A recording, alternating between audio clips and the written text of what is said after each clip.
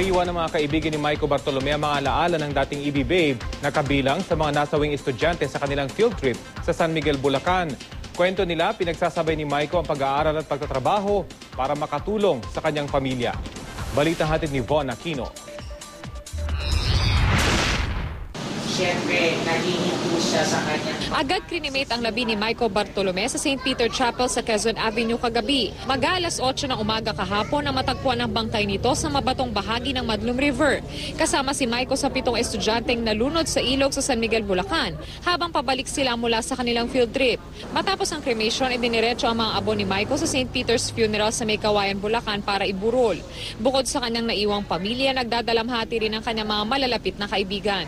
Kwento ng isa sa mga best friend at dating kasamahan sa grupong EB Babes na si Mabel. Nagkausap pa raw sila ni Michael noong nakaraang buwan. Ko sabi ko, Mare, um, pwede ka ba? Kasi may racket ako sa'yo. Sabi niya, sige, balikan kita. Babalikan kita, tawagan kita. I-check ko yung sked ko for uh, next week. So, nung time na yun, hindi ko na alam na, ano, may nangyari na pala sa kanya. So, so parang, ano, parang sobrang, ano lang talaga, nabigla. Nabigla talaga kami lahat. Sobrang, na-shock.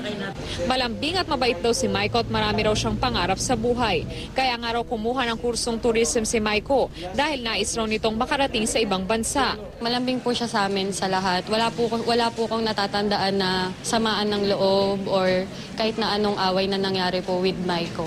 At dahil hindi na sila magkakasama sa pagsasayaw, mensahe ng kanyang mga kaibigan. Bes, alam ko na sobrang bait mo. Tumutulong ka ng family mo, rumarakit ka kahit nag-aaral ka. Rumarakit ka pa rin. Hina, nanghihingi ka pa rin ng racket. Sana, um, um, gabayan mo na lang si Nico, si Mami Eva, si Isanya. I hope na kasama mo na si God. I love you so much. Von Aquino, GMA News.